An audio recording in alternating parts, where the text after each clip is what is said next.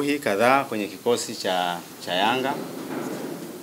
Aa, lakini majeruhi wawili tayari wamekwisha rejea kikosini, Mapinduzi Balama na Isa Bigirimana wamekwisha rejea kikosini. Kwa hiyo tunataraji kama watakuwa na match fitness, basi mwalimu anaweza kuwatumia kwenye mchezo yetu ya ligi. Uh, majeruhi wengine Paul Godfrey, uh, Rafael Daudi, Juma Mahadhi na Mohamed Isa Banka wao bado hawaja hawajarikava. Kwa hiyo wanaendelea na mazoezi madogo madogo, lakini bado hawajarejea kwenye kikosi moja kwa moja. Kwa hiyo haya ndo ambayo naweza kuyasema kwa upande wangu sasa hivi.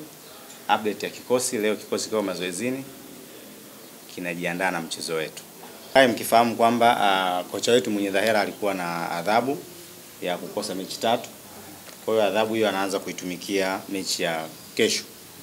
Kwa hiyo hilo lieleweke, ili kesho kutwa isije tena maswali, bwana, Eh, imekuwaje? Eh, kocha hayupo? Lazima update hiyo.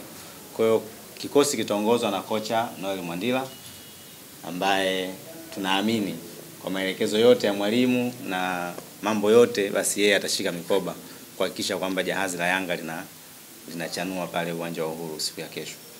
Kwa hiyo iko hivyo.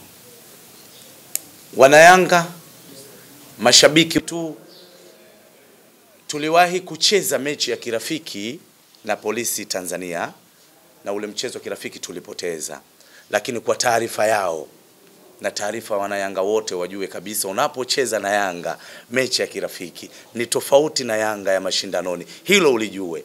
Na kesho tunajua kabisa mchezo ni mgumu, lakini pamoja na ugumu wenyewe sisi tunakwenda kuianza ligi rasmi kesho baada ya mechi ya awali na dhidi ya Ruvu Shooting kupoteza.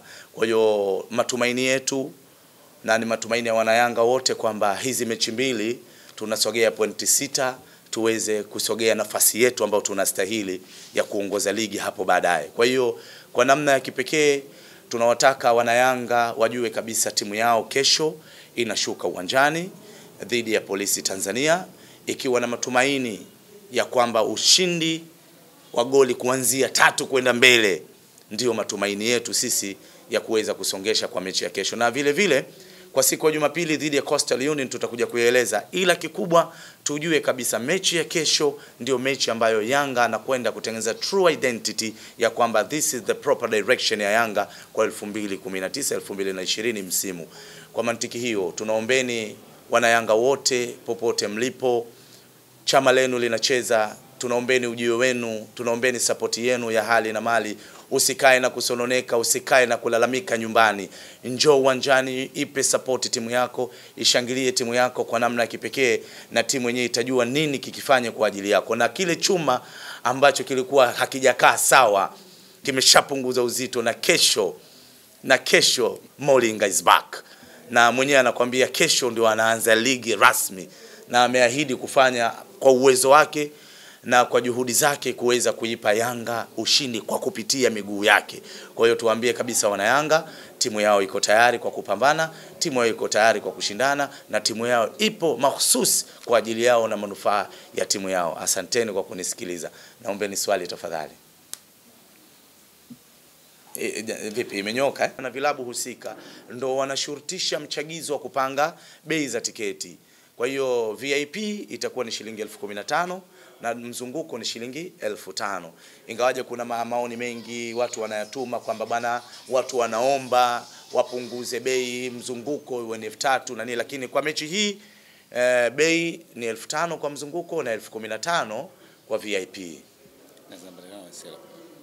na, e, na zinapatikana Selcom na vile vile zinapatikana pia siku ya mechi uwanjani pale ili kuweza kuleta mchagizo na msukumo wa namna ya kipekee kuitazama Young Africans kwa ajili ya ushindi wa Dar es Salaam. Manake ukitazama Yanga inapofungwa Dar es Salaam inazizima zii, lakini hata timu nyingine zikishinda unaona pia inazizima zii. Kwa hiyo unakuja kugundua kwamba the best brand na the big brand in Tanzania ni Yanga. Swali lingine?